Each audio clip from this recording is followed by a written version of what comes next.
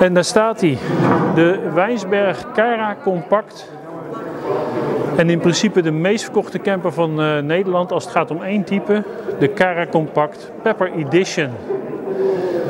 En vanaf hier naar daar is er niks nieuws aan. Helemaal de Wijnsberg Pepper. Maar van daar naar daar is alles anders, zoals je ziet. Want de Wijnsberg Pepper is vanaf heden te koop op basis van de Mercedes Sprinter. Nou, dat heeft meer moeite gekost dan dat we zo op het eerste gezicht uh, kunnen vaststellen. En dat heeft met name te maken met dat die Sprinter een hele andere vorm heeft dan een Fiat. En dat betekent dat deze overgang en deze kap helemaal opnieuw ontworpen is geworden. Want dat moet natuurlijk naadloos aansluiten op die cabine. En als je nu een pepper hebt, dan zie je het ook gelijk. Deze overgang is veel groter dan bij een Fiat. En dat ga je binnen ook merken. De Pepper, deze versie van de Pepper gaat in Nederland op dit moment, als er geen prijsverhogingen meer tussendoor komen, 92.000 euro kosten. En dan krijg je een uh, compacte camper. In principe met een hele volledige uitrusting.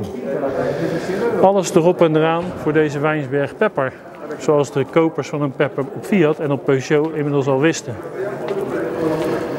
Nou, omdat ze die ruimte nu hadden, hebben ze ook mooie instaptreders gemaakt. Hier aan de zijkant zit een vak met alle verzorging. In dit gat kun je een BWT waterfilter kwijt.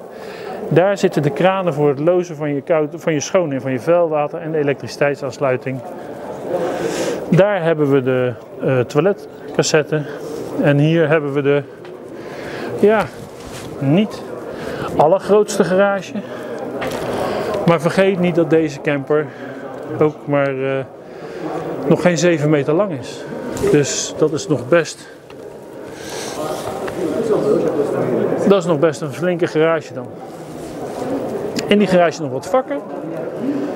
En hieronder staan de accu's. Een uh, standaard achterwand. Geen fold expand hier, maar wel zo te zien. Lijkt het op uh, kunststof. Dikke bumper. Gaskast. Grote gaskast. Twee 11 kilo flessen. Dan gaan we naar binnen. Luxe deur met raam. Nou, in de sfeer binnen, ik leg even deze camera hier neer. De sfeer binnen, als, ik zo meteen, eh, als zometeen mijn camera op temperatuur is.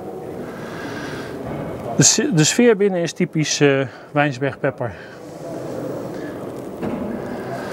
Dat, uh, dat goud hier langs die kastjes, de grepen. Het ziet er gewoon heel erg gelikt uit. En als je deze camper dus zoals die ooit bedacht is op een Peugeot of een Fiat koopt, ja, dan is die in Duitsland 60.000 euro. In Nederland wordt dat dan 75 vanwege onze prettige BPM. Hier zie je een bed waar je zo in kan stappen.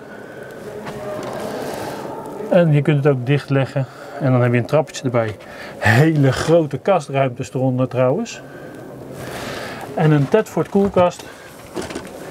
Zoals we die kennen uit uh, ja, allerlei caravans en campers. Dit is volgens mij in uh, sommige, ik denk in Duitsland standaard. Ik weet niet of die in Nederland standaard is. Televisie is uh, over het algemeen standaard. Schotel op het dak is over het algemeen standaard. Badkamer. Ook hier een grote spiegelkast. Vergeet alsjeblieft nooit om die spiegel te sluiten als je gaat rijden, want ik weet niet of hij het overleeft. En, en dat is uh, typisch voor de Wijnsberg pepper. Hoppatee. Even wat pielen. Er zit hier een slotje En daarmee kun je de wasbak opzij schuiven. Klikt hij daar weer in. En heb je hier doucheruimte.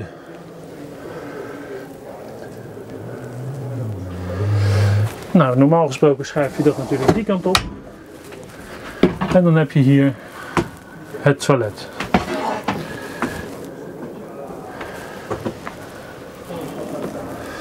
En zo maak je gebruik van de verschillende mogelijkheden van een ruimte. Nou, wat ik al zei, televisie is hier standaard. Kun je nog uitschuiven, kun je ook omkeren de andere kant op. Comfortabele bank om op te zitten, smal tafeltje. En dan zien we hier die enorme overgang aan de binnenkant naar de cabine. Nou, die is in een Fiat dus veel kleiner. En dat is het grootste nadeel van campers die op Mercedes zijn gebouwd. Ook die waar ik nu mee rijd. En wat we hier nog meer zien is een handgeschakelde, even wat lichter in Een handgeschakelde Mercedes.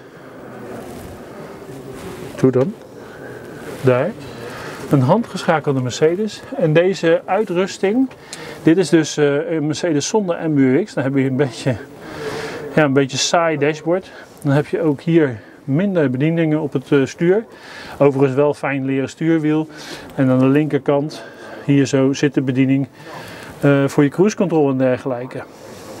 En waarschijnlijk ook voor je cruise control en voor wat autofuncties, wat wagenfuncties. Nou, deze navigatie lijkt Zenek te zijn en hoort uh, bij het pakket in ieder geval in Duitsland.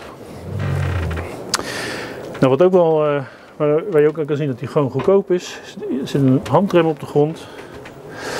Dit is een fly-off model, ja. Die handrem kun je dus naar beneden duwen.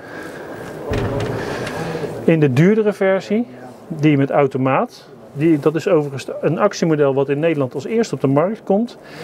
In Nederland komt er eh, voor 2000 euro meer een uh, Wijnsberg. Die heeft 170 pk, die heeft 9 traps automaat, die heeft de volledige MBUX. En als je nu kan bestellen zou ik dat zeker doen, want je krijgt heel veel meer auto voor je geld. En die heeft een elektrische handrem. Dan zit dat hele ding hier uh, op de grond niet. Dat is wel zo fijn. Maar ja, dit is dus de ruimte die je mist bij een Mercedes. Wijnsberg Pepper.